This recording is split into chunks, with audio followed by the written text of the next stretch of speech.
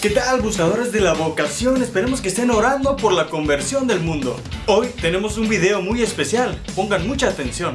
Ok, todos necesitamos ayuda para descubrir nuestra vocación, mucha ayuda. Por eso, hoy vamos a hablar de una persona muy especial, experta en el tema, la Santísima Virgen María. Como hemos hecho en otros videos, primero entrevistaremos a algunas personas para saber qué piensan de la Virgen María. Ustedes adoran estatuas y pinturas. Según mis estudios, la Virgen ni siquiera existió. Es un símbolo creado para producir cohesión social. Esas ideas no son nada correctas. Veamos quién es la Virgen María en verdad. Ok, ok, pero ¿quién es la Virgen María? La bienaventurada Virgen María es madre de Jesús de Nazaret.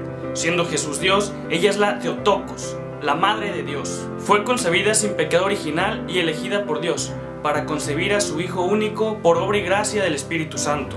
Ella es el primer sagrario de la verdad eterna que se hizo carne para redimir a la humanidad. Por Eva se cerraron las puertas del paraíso a los hombres y por María han sido abiertas de nuevo. Temida por Satanás debido a su estado de gracia plena, la Virgen María también es nuestra madre, poderosa intercesora ante Dios y defensora ante las acechanzas del maligno. Y acerca de todas esas ideas incorrectas que hay acerca de la Virgen, mucha gente piensa que adoramos a la Virgen como si fuera Dios, pero no es cierto, la veneramos con respeto y amor, lo cual es muy diferente. Y no adoramos estatuas. Sus imágenes son símbolos de ella que nos la recuerdan y la hacen presente, como la fotografía de tu mamá.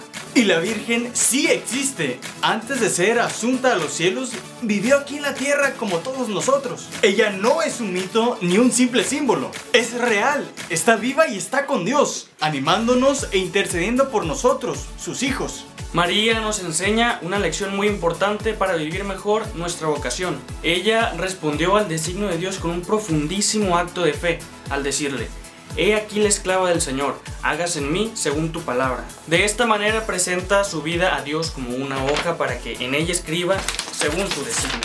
Cuesta trabajo vivir la fe y responder a Dios, pero nuestra mamá del cielo siempre está ahí para animarnos. Ella es maestra de fe. Pero, ¿cómo nos trata María? María es como tu mamá cuando habla con tu papá para que te deje salir con tus amigos. ¿Sí sabes cómo no?